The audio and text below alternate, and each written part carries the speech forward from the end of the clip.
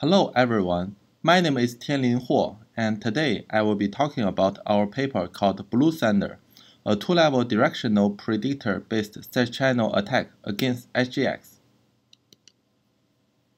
The hardware-based trusted execution environment is a promising technique to enable secure computation. Intel's SGX is drawing significant attention these years because of its strong security guarantee which enables a variety of new applications such as secure data analysis. However, recent researches demonstrate that SGX is vulnerable to the following side channel attacks, including page table based attacks, cache based attacks, and branch prediction unit based attacks. Compared to the other two kinds of attacks, BPU based attacks are getting considerable attention First, BPU-based attacks can defeat most of current SGX protection approaches. Second, BPU-based attacks can identify instruction-level control flow information inside an enclave, while other attacks can only recover page-level or cache line-level secrets. The pattern history table is a main component in the BPU, which can also be abused to conduct side channel attacks against SGX. BranchScope is the latest PHT-based attack against SGX. By manipulating hashing collisions in the bimodal predictor, this attack can extract fine-grained information of a target enclave. However, BranchScope needs to execute a large number of branches for activating the vulnerable predictor, which causes considerable training overhead during the attack and limits the temporal resolution of this attack. If the target application runs fast, it will be hard for this attack to catch up with the target application. As a result, several secret bits may be missed during the attack. In this paper, we propose Blue Thunder, a new PHT-based attack which can reveal fine-grained control flow of an enclave program running on real SGX hardware. To the best of our knowledge, this is the first side-channel attack on the second-level directional predictor. Several new techniques are also proposed in this paper. First, we present a new method for constructing a given branch history with only 93 branches. By using this method, we recover the branch history information of an enclave interrupt. Second, we propose a novel detection technique which enables the attacker to monitor the enclave's actions in a high temporal resolution, without caring about when the target instruction in the enclave is executed. Third, Blue Thunder is the first attempt to use SGX interrupt for fixing the branch history. By interrupting the enclave just before the target branch, the attacker can ensure that the target history is the same each time when the target branch in the enclave program is executed. We also implement Blue Thunder on real SGX hardware with the latest patches and evaluate this implementation on several case studies.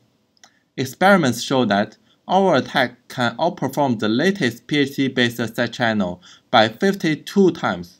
Specifically, in the RSA attack, Blue Thunder extracts the whole private key with 96% accuracy by attacking only once. Now we describe the background.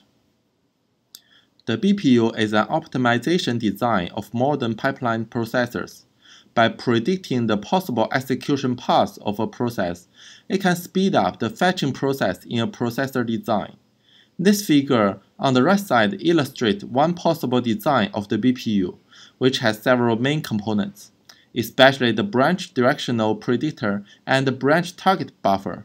The branch directional predictor is for predicting the possible jump directions of a branch instruction, while the branch target buffer is for predicting the jump destination address of this branch. The bimodal predictor and the second level predictor are two main branch directional predictors in modern processors. The bimodal predictor exploits the observation that the branch direction outcome has a relationship with the previous history of this branch, while the second level predictor believes that the outcome is also affected by the jump history of other branches. When a branch first comes, the BPU usually chooses the bimodal predictor for predicting. However, if this predictor makes mistakes for several times, the BPU will select the second level predictor instead. Both of these two predictors rely on a table called PHT for predictions. PHT is a recording table containing several n-bit saturating counters. When a branch comes, one PHT entry in either one level or two level predictor will be selected for prediction. After this branch is actually executed, the counter given by the relative entry of the PHT is updated. A finite state machine description of updating an n-bit saturating counter is given in the right figure. If the most significant bit of this counter value is 0, this counter is in a not taken mode, which means that the direction it predicts is not taken. Otherwise, the counter is in a taken mode and its prediction made is taken. For example, a 3-bit saturating counter with the value 1 is in the taken mode, while another 3-bit counter with the value 4 is in the taken mode. Also, the predictor is updated according to the actual jump directions of the incoming branch. If the real execution direction of the branch is taken, the value of its corresponding PHT value will be plus 1, or its value will be minus 1. We assume a standard SGX threat model in which the attacker has full control over the operating system. First, we assume that the attacker has access to the target enclave program's source code or binary. By analyzing these resources, the attacker can obtain the detailed behavior of an enclave, such as its control flow. Second, we assume that the attacker and victim programs are co-resident on the same physical core. This is because the BPU is shared at logical core level, but separated at physical core level. Third, the attacker is able to measure the misprediction information of her own branches. Both the performance monitoring counters and RDTSCP instruction are available for this measurement. Fourth, the attacker can interrupt an enclave just before the target branch in the enclave, ensuring that no other jump actions are taken before the execution of the target branch. This can be achieved perfectly when interrupting an enclave since the attacker can control the OS. Now we turn to present Blue Thunder. This is the overview of our attack. The Blue Thunder attack aims to obtain the fine-grained control flow of an enclave program by manipulating the second-level predictor. In general, the Blue Thunder attack consists of the following two stages. Activating the second-level predictor and leaking secrets. In stage 1, we activate the second-level predictor. We force the predictors other than the second-level predictor to shut down by imposing several mispredictions on them, ensuring that the second level predictor is eventually activated and used by the target core. Executing the target branch with a carefully designed TBDVQ direction vector can mislead the BPU to make such mispredictions easily. This stage is only executed only once during the attack. In stage 2, we are trying to leak secrets using the second level predictor. Two steps are included constructing collisions and abusing collisions.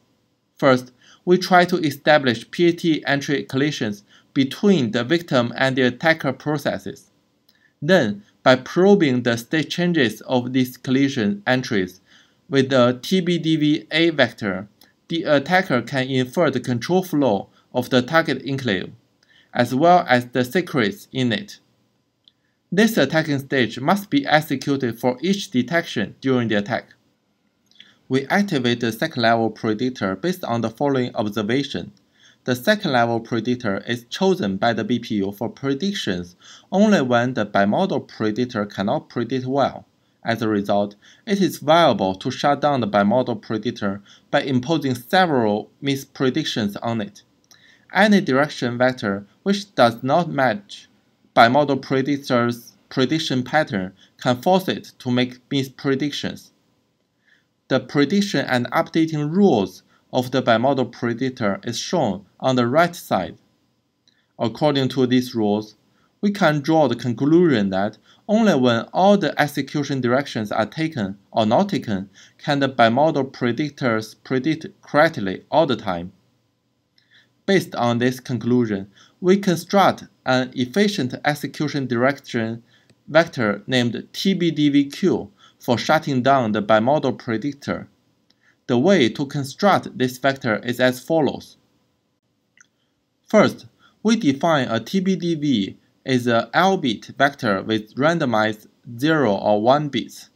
In this vector, 0 means the execution direction of a conditional branch is not taken, while 1 means its execution direction is taken. The function of this TBDV vector is to mistrain the bimodal predictor. Since this vector is generated randomly, it can hardly match the prediction pattern of the bimodal predictor.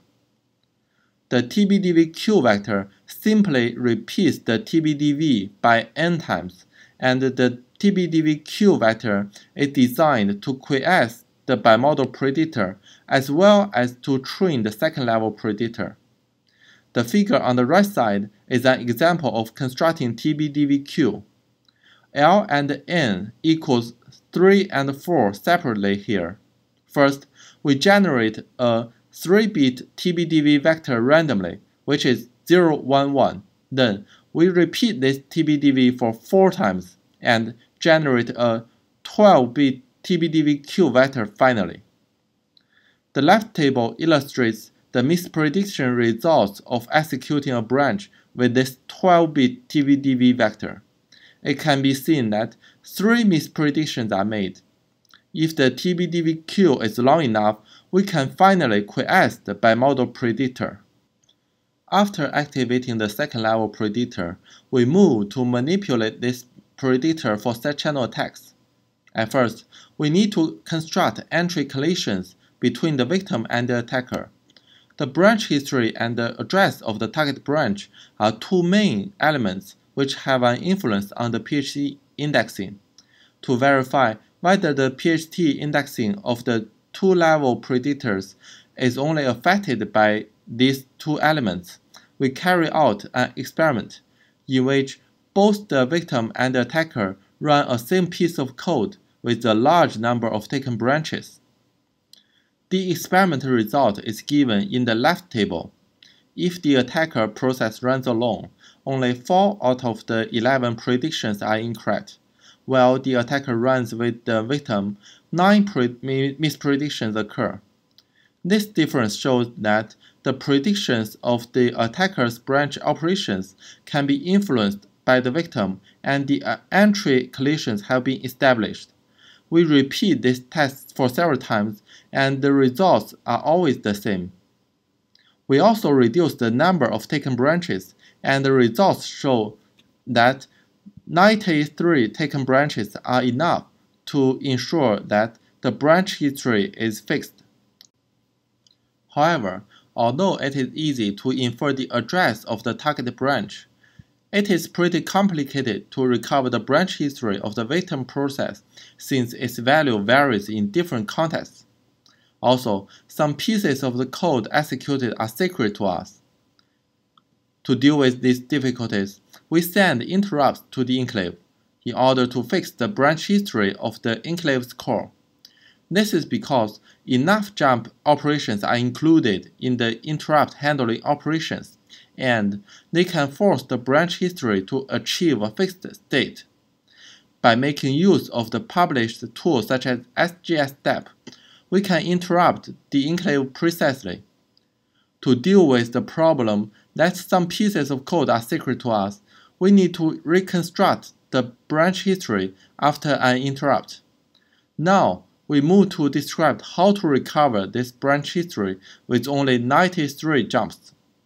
Our history reconstruction is based on the observation that the branch history update can be controlled by manipulating the last two bits of branches destination addresses in Intel processors. The right figure is an example. We vary the jump destination of the first jump instruction in the attacker's code while fixing its source address. We find that the PHT collisions can be established only when the last two bits of the jump's destination are fixed, such as 01. This result means that only the two bits are enough to represent the effect of one jump on the branch history. We make use of this result to recover the enclave's branch history after an interrupt. First, we add 93 jump instructions into the attacker's code, which are called R jumps. The source addresses of these jumps are fixed upon insertion, while their destination addresses can be changed. We also add 93 jump instructions, which are called T-jumps, and a target branch in both the victim's code and the attacker's code. Note that the source and destination of each victim's T-jump instruction should be the same as that of the corresponding one in the attacker's code. Now, the two target branches share the same predictor entry. Then, we deleted the last t-jump instruction in both processes and changed the destination of the last r-jump instruction in the r-jump sequence. By checking whether an entry collision has been established, we can infer when the branch history of the two processes is the same. According to the conclusions drawn above, four times are enough for recovering the last r-jump instruction in the attacker's program.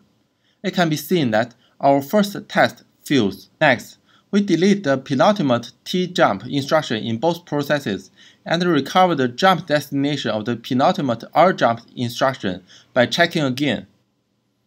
We repeat this step 93 times in total, and finally, the branch history after an enclave interrupt can be reconstructed.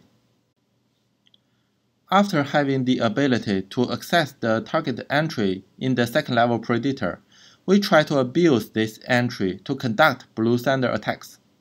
Although it has been uncovered that the main component in the second level predictor is a PHT with several n-bit saturating counters, the value of n is still unknown. To detect the value of n, we execute an attacker process alone, which contains 93 training branches and one target branch. The TBDV we use has L1 bit T's and L1 bit N's. L1 is said to be big enough in this test. We repeat this TBDV for 100 times and generate the final TBDV queue for the target branch. By executing the target branch with this vector and checking the misprediction result of the target branch, we can infer the exact value of n. The test result is presented below. After executing the, target branch four times with taken or not taken directions, the two-level predictor can be trained. In other words, n is 3. Another challenge to abuse the PHT entry collision is that current BPU-based attacks usually require both the attacker and the victim processes to be executed in a specific sequence order, which limits the temporal resolutions of attacks. For example, in most attacks, the attacker needs to train the BPU at first, then the victim executes the target branch and affects the state of the target BPU entry. At last, the attacker probes the BPU changes and infer victim secrets. To increase the temporal resolution of our attack, we adjust the branch directions of the target branch dynamically. We set the execution direction of the target branch just opposite to the predicted direction. An example is shown in the table below. If the relative second level PHT entry uses the saturating counter to give a taken mode prediction, the attacker sets the direction for the target branch to be not taken. Otherwise, the attacker sets the, the direction for the target branch to be taken. We call this direction vector, which the, uh, the attacker executes the TBDVA vector. By executing the target branch with this vector, our attack does not require the sequential order as before. We find that without the execution of the victim, the TBDVA should reach a stable state eventually, repeated with the basic sequence TTTNNN. The explanation of this phenomenon is presented in the first table. However, if the attacker process is run with the victim process, this stable state will be broken. By analyzing the irregular sequences, the attacker can finally deduce the fine-grained control flow of the victim process. The relationship between the possible irregular sequences and the victim's actions are presented in the second table. If the number of n is larger than that of t, a target branch with the taken direction is executed by the victim. Otherwise, the victim should execute the target branch with the not taken direction. Now we turn to evaluate Blue Thunder attack. We launch Blue Thunder against the mbed TLS library, which is a popular choice for conducting encryption and decryption operations in SGX-based environments. The RSA algorithm in this library is vulnerable to control flow attacks. By detecting the execution directions of branches in it, the attacker is able to uncover the private key of the victim. This figure demonstrates execution directions of the attacker's target branch, which are affected by 10 bits of the private key. Take the first bit in the as an example. The three red spots means TTT, and the four blue spots means NNNN. Now, we can easily draw the conclusion that the victim's execution direction is T and the secret is 1. With the help of post-processing analysis scripts, we can reliably recover all of the private key. We also compare Blue Thunder with BranchScope. Now we present the countermeasures. We divide countermeasures into two categories, software ones and hardware ones. One software-based approach against Blue Thunder is removing conditional branches in the target enclave. However, this approach is usually algorithm-specific, and applying it to general applications is challenging. A more practical countermeasure is auditing, which requires no changes in processor designs. However, selecting the threshold used for differentiating between benign programs and adverse programs is difficult. As for hardware hard countermeasures, one hardware-based mitigation is to randomize the PHT indexing logic, which can make it harder for the attacker to construct entry collisions in the predictor. However, extra hardware components may be required, such as buffers. Another solution is to prevent predicting sensitive branches. Although this method can protect the victim process from side channel attacks, it cannot protect against covert channel attacks. We may also double the BPU logic or flush the PHT state whenever the context changes. However, these mitigations either requires a more complex BPU design or increase the running overhead of processors. You can get more information about the following aspects in the paper. In this paper, we propose a new PHT-based attack against SGX named Blue Thunder, which leverages the second-level directional predictor as a side channel. By exploiting hashing collisions in the predictor, this attack can precisely identify fine-grained control flows inside an enclave. We implement Blue Thunder and evaluate this attack on two case studies. Results show that even though several defensive techniques are used, Blue Thunder attacks are indeed practical and pose a serious threat on SGX.